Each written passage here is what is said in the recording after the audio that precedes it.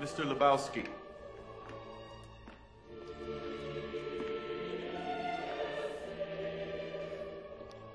Funny. I can look back on a life of achievement, challenges met, competitors bested, obstacles overcome. I've accomplished more than most men, and without the use of my legs. What? What makes a man, Mr. Lebowski?